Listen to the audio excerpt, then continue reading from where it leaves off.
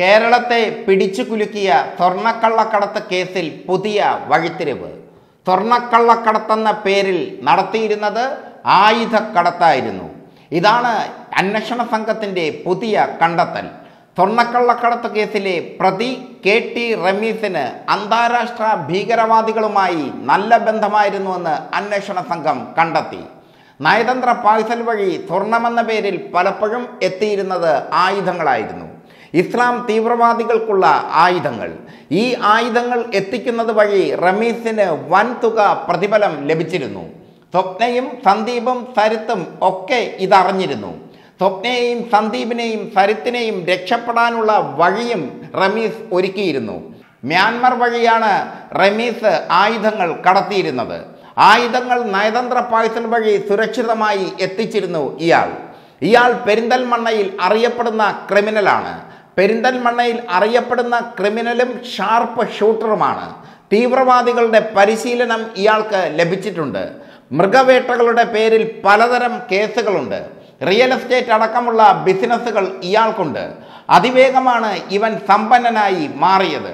സ്വർണക്കള്ളക്കടത്ത് case രാജ്യദ്രോഹ കേസാണ്. എന്നാൽ ഇപ്പോൾ കണ്ടെത്തിയിരിക്കുന്നത് വെറും രാജ്യദ്രോഹമല്ല രാജ്യത്തെ തകർക്കാനുള്ള ശ്രമമാണ് ഇവർ നടത്തിയത് എന്നാണ്. റമീസിന്റെ വിദേശയാത്രയും റമീസിന്റെ ബന്ധങ്ങളും ഒക്കെ ഇന്റലിജൻസ് അന്വേഷിച്ചു. ഇന്റലിജൻസിന് ഞെട്ടിക്കുന്ന വിവരങ്ങളാണ് ലഭിച്ചത്. ഇയാളെ പറ്റി അന്വേഷണം നടത്തിയ ഇന്റലിജൻസിന് ഞെട്ടിക്കുന്ന വിവരങ്ങളാണ് ലഭിച്ചത്.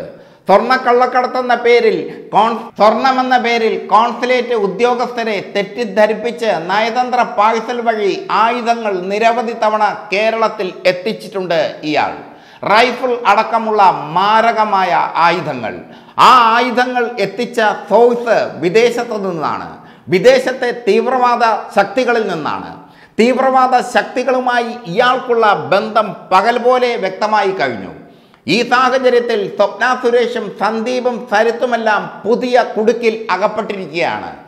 ആയുധക്കടത്ത് വ്യക്തമായതോടുകൂടി എൻ ഐ എ കൃത്യമായി ഇവരെ സ്കെച്ച് ചെയ്തു കഴിഞ്ഞു. എൻ ഐ എ നടത്തിയ അന്വേഷണത്തിലാണ് ആയുധക്കടത്ത് തെളിഞ്ഞിരിക്കുന്നത്. കസ്റ്റംസും ഇതേ ദിശയിലാണ് സഞ്ചരിച്ചത്. കസ്റ്റംസും എൻ ഐ എയും ഇപ്പോൾ കണ്ടെത്തിയിരിക്കുന്നത് ഗുരുതരമായ പ്രശ്നമാണ്. കേരളത്തിൽ ആയുധങ്ങൾ ഒഴുകി റൈഫിൾ അടക്കമുള്ള ആയുധങ്ങൾ. ഈ ആയുധങ്ങൾ പെരിന്തൽമണ്ണയിൽ എത്തി. മലപ്പുറത്തെത്തി. മലപ്പുറത്തെ മുസ്ലിം തീവ്രവാദ സംഘടനകളുടെ കൈകളിലെത്തി.